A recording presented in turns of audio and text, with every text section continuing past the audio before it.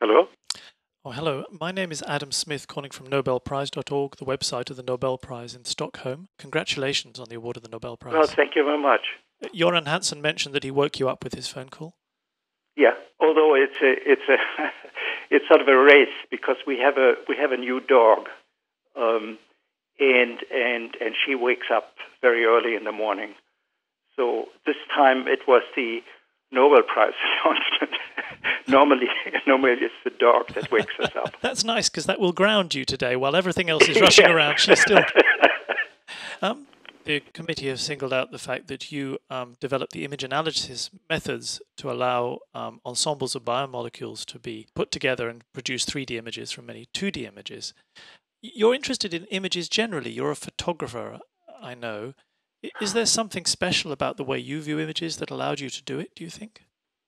I don't know. I, am I'm, I'm just uh, I'm just very visually oriented. So I, I, I, see I see patterns. I see structures. I, I see I see patterns very very fast in in the background and, and so forth. So I have a view when I when I walk around, and sometimes I take pictures. Uh, you know, I've had uh, photographs in in exhibitions and so forth, and Yes, indeed. And was there one moment where you suddenly realized how to put these ensembles together?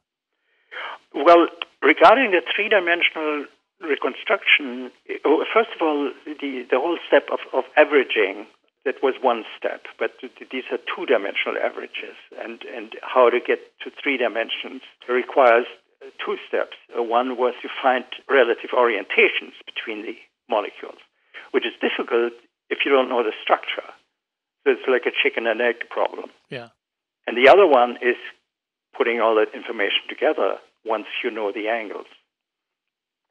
So, so these are essentially different moments. So in terms of how to find the orientations, there, there was an aha moment in 1977 or some, something like this, mm. where I conceived of the, of the random conical method.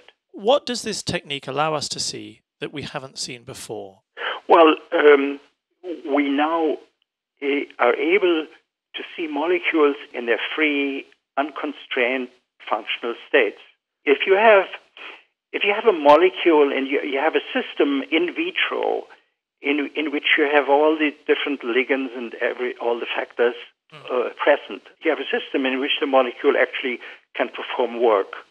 These system ex- uh, systems exist, for instance, for the ribosome. You can do in vitro translation of, of, a, of a messenger RNA if all the different ingredients are, are there, or you can do uh, you know something like transcription, all this.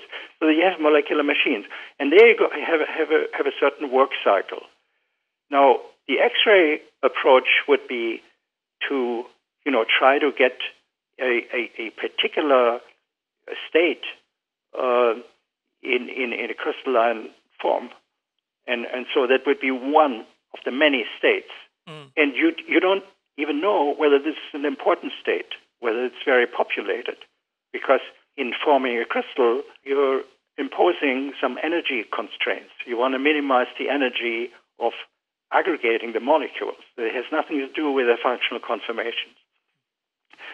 Uh, whereas in, in cryo-EM, uh, the molecules are actually there. They are, they are frozen in the process of doing their thing.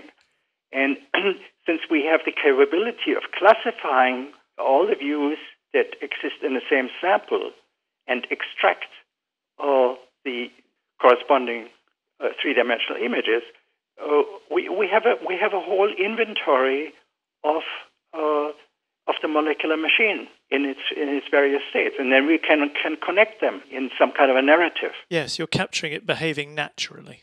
Yes, yes. So that's, that's the important uh, distinction.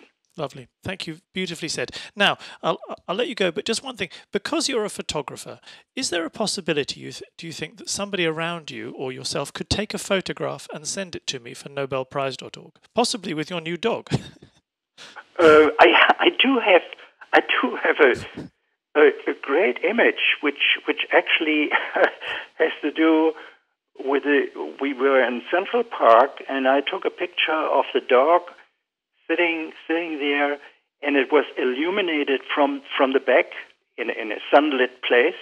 Mm. and and one sees the projection of the dog on the ground, and me photographing uh, the dog oh, also. That would be absolutely splendid. So, so, so this is this is a fantastic illustration of you know 3D, 2D projections, and so on. The whole yeah. the whole Nobel Prize in one picture. Uh, what, yes, yes. so we look forward to welcoming you to Stockholm in December. You will be coming, I hope. Yes, yes, I'll be coming with with my family. Lovely. Well, we look forward to the celebration. Thank you very much for speaking to Thank me. you. Thank you. Bye.